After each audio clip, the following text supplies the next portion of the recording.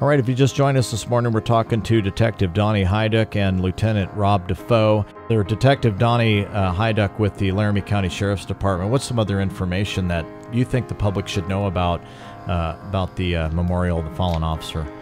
Well, basically, for the fallen officer, I think it's a unique way. Rob and I have thought about this for years, and we're not alone in this. We also have the Wyoming Highway Patrol, the Game and Fish Department, state parks. We have all the law enforcement entities involved in the program now since we started it. And it's kind of a unique situation to where um, we honor our own, uh, which is one of the rare times that we ever actually get to do that.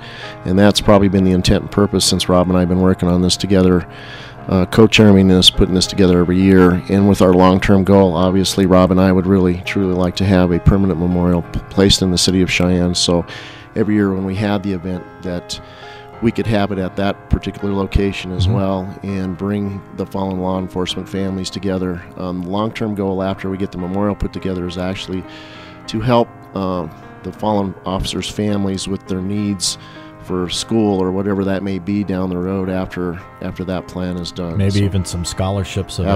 absolutely. We, we like- actually do have a scholarship in place at Laramie County Community College. We have a twenty thousand dollars scholarship from a donor. Um, that we do have in place for the fallen officers' families that we've already started. So we've worked on that while we've been working on the memorial itself.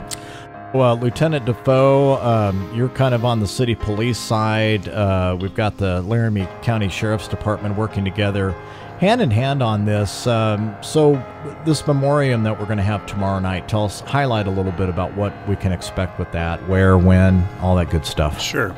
Uh, Six o'clock tomorrow night at the state capitol. Um, we will have a very special honorary uh, ceremony uh, to memorialize the officers, the 67 Wyoming peace officers that have passed in the line of duty. Since, Uh, 1877, I Okay. believe, was our first loss. Okay. And, uh, our last loss, unfortunately, was in 2011 uh, in Converse County, I believe it was, with Deputy Brian Gross passed. So the ceremony will uh, take place uh, about 20 to 25 minutes of uh, just a very unique ceremony to include bagpipes, a choir. Uh, uh, certainly a gun volley salute and uh, the governor's proclamation will be read.